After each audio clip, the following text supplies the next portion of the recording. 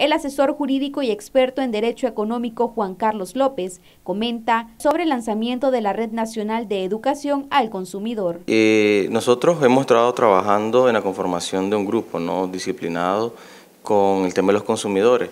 Y realmente lo que pretende hacer es hacer un trabajo más en el terreno para la población y tener diversificación en el sentido geográfico.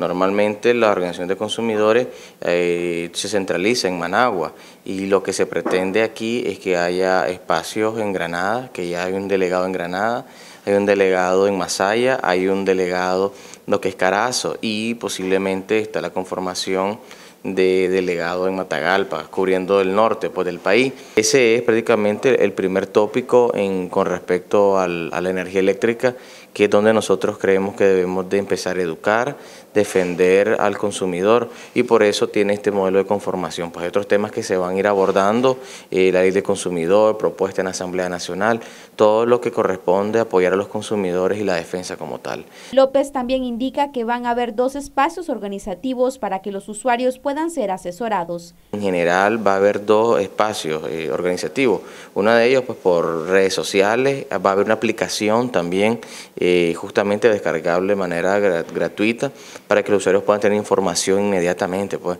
por ejemplo, quieren saber dónde debe estar el medidor, la altura, quieren saber cómo reestructurar eh, en algún caso algún modelo de crédito, quieren tener información de la mano, entonces se va a poder utilizar esta información de manera manera efectiva, pues, que normalmente a veces solo, normalmente la gente solo hace los reclamos o las denuncias mediante el sitio de Facebook. Entonces, estamos buscando alternativas para que la organización tenga un efecto.